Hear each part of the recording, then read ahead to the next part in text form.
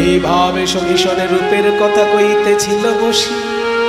হেন কালে কুঞ্জ বনে বাজলো শ্যামের রহস্য। বলে, আর না বাজিও বাঁশি নীরব হয়ে থাকো। এই দেখো সাজিয়া, বেড়াইছি আমি আবার কেনে ডাকো। আর ঘরে রইতে নারী করোনা বিচার, যদুনাথ দাস কহে, ধনী করয় আর দেরি না করে সেজে গুজে কৃষ্ণ দর্শনে চলে। তাহলে আটজন সখী রাধারানীকে কীভাবে সাজাচ্ছেন তার বর্ণনাটা শুনুন। তাদের নাম হচ্ছে ললিতা, বিশাখা, চিত্রা, চম্পকলতা, তুঙ্গবিদ্যা ইন্দুরেখা রঙ্গদেবী, সুদেবী। এই আটজন সখী মিলে রাধারানীকে সাজাতে লাগল।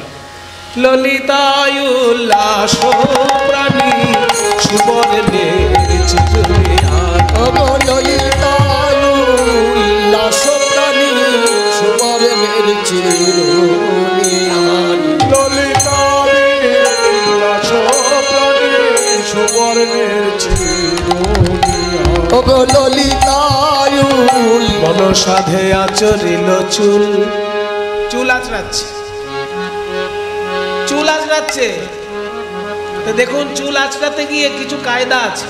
এগুলো মেয়েরা জানে, সবাই তো জানে না, দেখে নেন যাদের চুল ঘন এবং কোঁকড়ানো, তাদের চুল আঁচড়াতে গেলে একটু অন্য কায়দা আছে। যদি চিরুনিটা নিয়ে এইরকম ধরে, তখন তো ব্যথা লাগবে। সেই জন্য চুলের গোছটাকে এরকম হাতে একটা প্যাঁচ দিয়ে তবে এইখানে জ্বর ছাড়ে তা সোনার চিরুনি নিয়ে ললিতা প্রথমে আচড়াচ্ছে বাম করে এক ফেরা।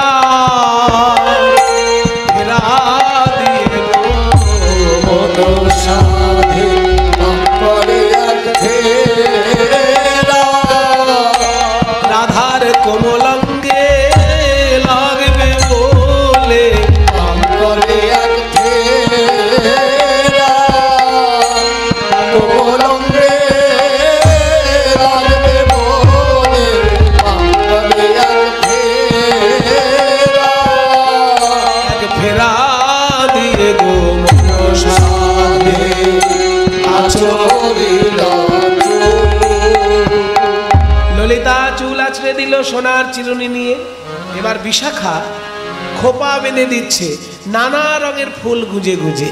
বিশাখা কবে বাঁধে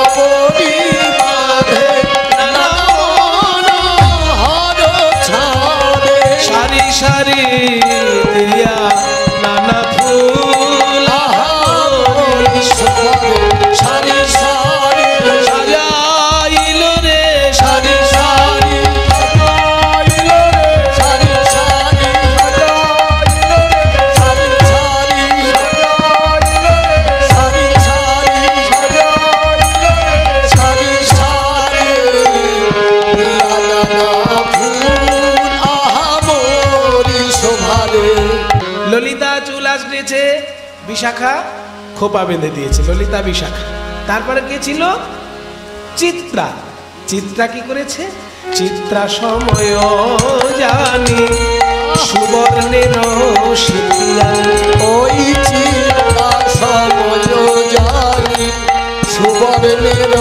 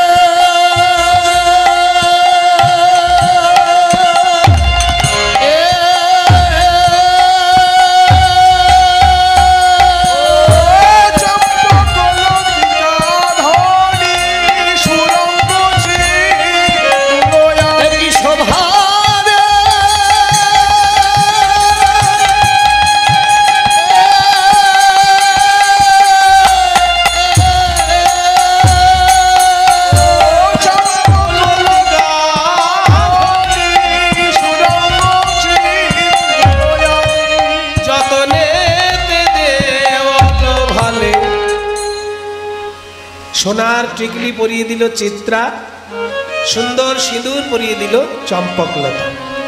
আর কি? নানা রত্ন কর্ণ মূলে রঙ্গ দেবী পড়াইলে ওই নানা রত্ন কর্ণ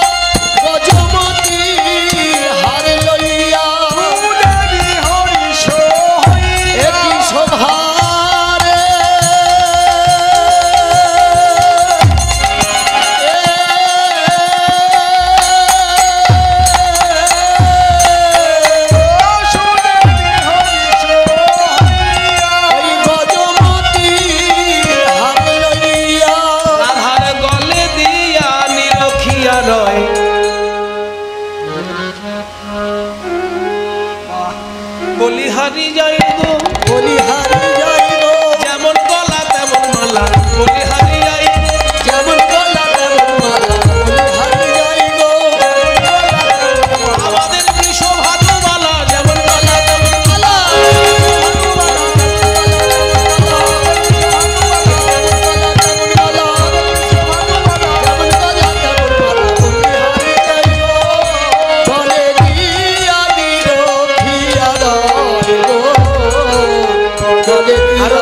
সখী বাকি আছে? যেসব গয়না বাকি ছিল, বাকি আভরণ ছিল। তুঙ্গ বিদ্যা পড়াইল।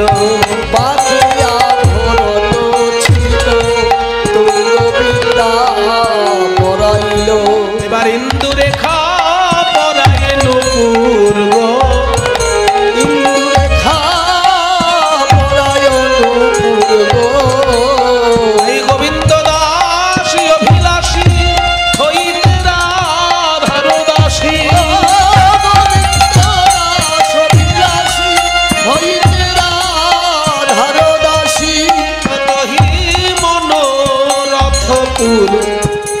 ভাগ্যবান পদকর্তা গোবিন্দ দাস বলছেন, যদি কোনোদিন রাধা রানীর দাসী হতে পারি, তবেই আমার ইচ্ছা পূর্ণ হবে। নুপুরকে কেঁদে বলে, ওরে নুপুর, ওই সখী তোকে পড়াইছে বটে, কিন্তু নুপুর তুই খুলে যা খুলে যা খুলে যা খুলে যা। আমি আমার তোরে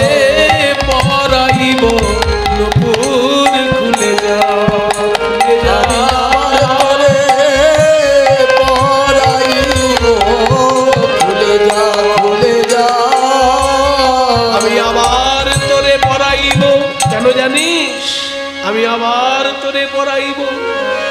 পড়াতে গেলে ওই রাই চরণ হৃদে ধরব। আবার